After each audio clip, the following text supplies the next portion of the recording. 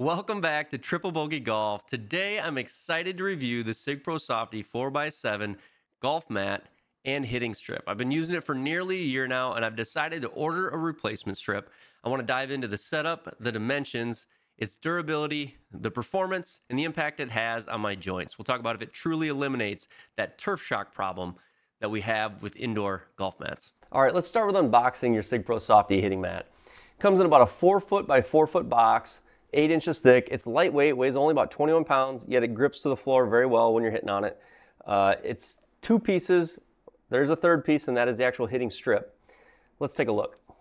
So your first piece is gonna be stance mat, and this stance mat's gonna have the jigsaw end to connect to the second piece.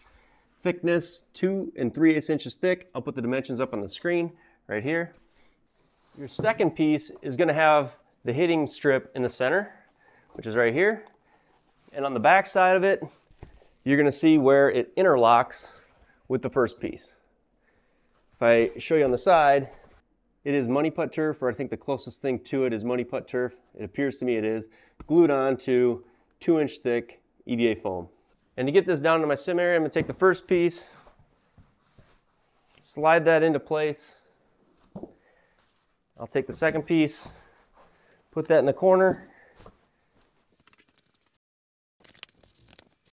and then I'll slide it down into place. So this is our stance mat. And the last piece in the box is gonna be the hitting strip. The hitting strip's got about one inch of dense turf, followed up by the outside border's got a kind of a firmer foam, but underneath it's got air pockets to sort of relieve and allow it to squish. And it's got a very lightweight, softer foam on the bottom. So when you push on it, it actually kind of compresses, and I'll show some videos of that later. There you have it. Okay, now let's talk about durability. I've had this nearly a year, and what I would say is I'm probably easily close to the 1,500 shots in a month with the people that come over and play and the amount that I practice, uh, sim golf tour, etc. So I think it's pretty safe to say that there's probably 15 to 20,000 shots have been hit on this strip. And what you can see is a slight little kind of trough wearing in the center. Um, if I put a ball on here and kind of just let it rock, it probably gives you a better visual of what I'm talking about. There is clearly a spot where the ball would like to go. Um, so lately I've been hitting off, you know, the side and this side to kind of even it out. Here's the new strip, the new hitting turf I got from the indoor golf shop as a replacement to my original SIG Pro strip.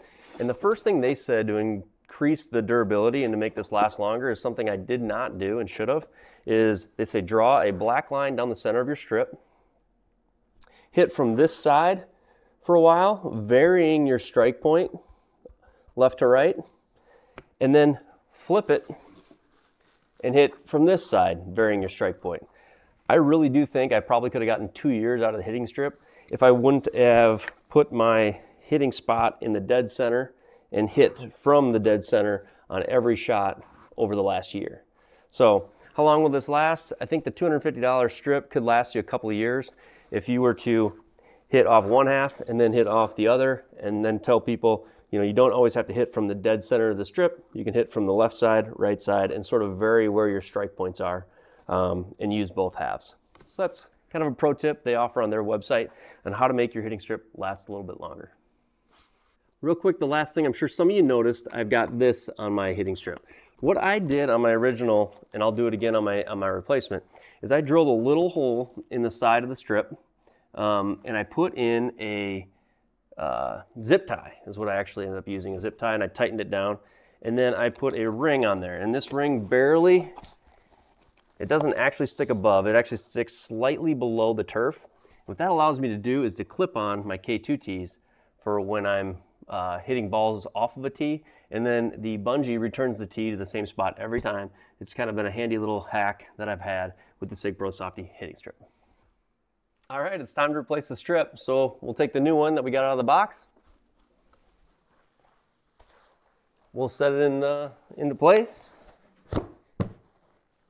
give it a push down, and we're done. And there you have it. We've replaced the strip. We've got rid of that concave spot. We've got a brand new surface to hit from.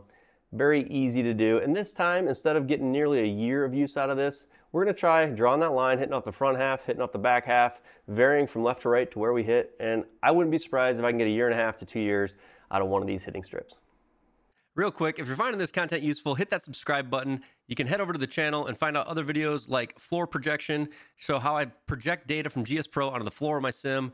I've got other videos about uh, how I built this simulator flooring, adding impact vision to your floor, webcam putting, and more. Thanks for watching. Let's get back to how this hitting strip performs. All right, now the most important part. Let's jump into GS Pro, hit a few shots, and talk about performance and feel.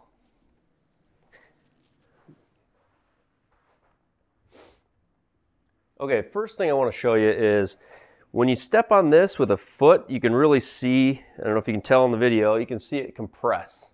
There's a lot of room for compression um, when you do. Now, if I hit my club on it, the ball isn't necessarily moving, which you don't want to hit it short and have the ball pop up. I'm also noticing that when I swing on it, the club isn't like getting caught in the grass blades. You know, the longer grass blades, you can really concerned about getting caught. It's not doing that. Um, but you can see it compresses the blow, kind of makes a thump sound, which not the cleanest sound, but you're not really buying a hitting mat for sound. All right, let's hit a few shots.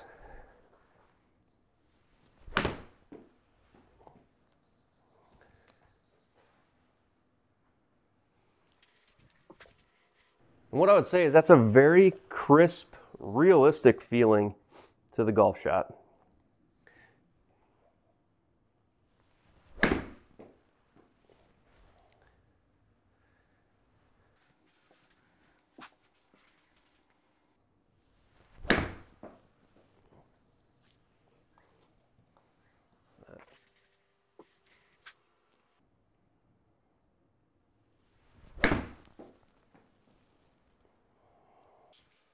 It's just a good, crisp, realistic feel to the turf. Sort of feels like you're taking a normal shot with a little bit of a divot. And I think the biggest thing that I've noticed using this mat over the last year is I really don't have the wrist, the elbow, and the joint pain that I had when I had one of the less expensive mats with no padding underneath.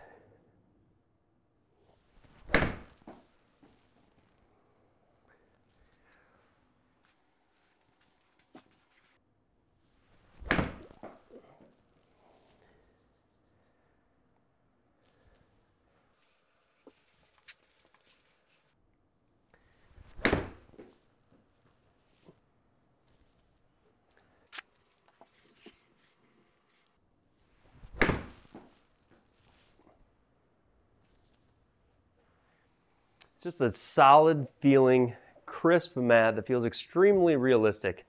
I can't tell you how much it's reduced the joint and elbow pain that I've had over the last year.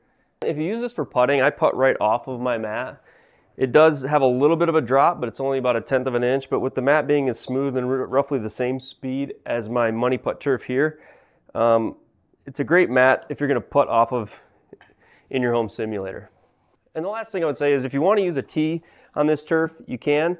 Um, you may need to modify the height of tees that you get as this one is as far deep as it goes. Um, basically, you can put it in about halfway. Set a ball and We can hit right off of real tees if you'd like. The K2 attachment that I have is just a little clip. And I find that little deal down here and we clip it in. And then we put the tee on here and we just hit off it like this. That goes, the bungee brings it right back to where it was. I would recommend this mat to anybody. I'm not obviously sponsored. This is just something I use. I wanted to put a review out and I thought, heck, after a full year of use, I could give you a fair uh, assessment of, how, of what it's like and give you a better idea if it's something you want to use in your home simulator. To wrap things up, the SIG Pro Softy has held up extremely well over the last 12 months of nearly daily use. The fact that I can easily replace the hitting strip makes this golf mat a great long-term investment.